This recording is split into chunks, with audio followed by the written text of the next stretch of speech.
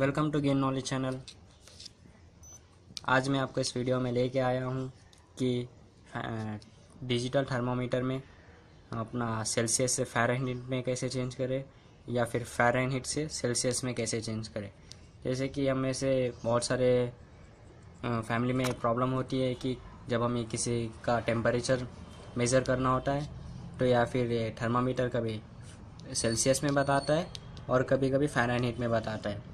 तो हम चाहे वो हमारे ऊपर हम किसमें भी देख सकते हैं या फिर हमें फ़ारेनहीट में देख सकते हैं या फिर सेल्सियस में। तो ह्यूमन बॉडी टेम्परेचर को मेज़र करने के लिए सबसे बेस्ट है फ़ारेनहीट में। तो चलिए देखते हैं। ये सबसे पहले हमें इसे ऑन करना होगा। ये पावर की है। जैसे कि आप देख सकते हैं कि अभी यहाँ पे सेल्सियस में बता रहा है। यहाँ पे डिग्री जो है सेल्सियस में है। तो हमें ह्यूमन बॉडी टेम्परेचर अगर मेज़र करना है तो फ़ारेनहीट में अगर मेज़र करेंगे तो हमें इजीली मालूम पड़ जाता है कि हमारा बॉडी टेम्परेचर कितना है। तो चलिए भैया, यहाँ पे सेल्सियस में है तो मैं इसे फ़ारेनहीट में चेंज करता हूँ। तो ये अभी पावर ऑफ़ है। अब हमें पावर ऑन ऐसे ही प्रेस करे रह जाना है। जैसे आप देखें, ऐसे आया।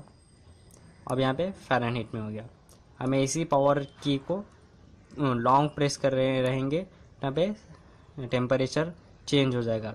या फिर फ़ारेनहीट से सेल्सियस में हो जाएगा, सेल्सियस से फ़ारेनहीट में। जैसे कि आपने नोटिस किया होगा, पहले सेल्सियस में था, अब फ़ारेनहीट में हो गया। अब मैं इसे फ़ारेनहीट से फिर से सेल्सियस में करके बताता हूँ एक बार। पावर ऑफ़ कर दिया, फिर से पावर ऑन करो लॉन्ग प्रेस करो। और ये सेल्सियस में चेंज हो गया। और इसी तरह फिर से और एक बार रिपीट कर देता हूँ, सेल्सियस से फ़ारेनहीट में कैसे चेंज करें? तो हमें पावर ऑफ़ करना होगा।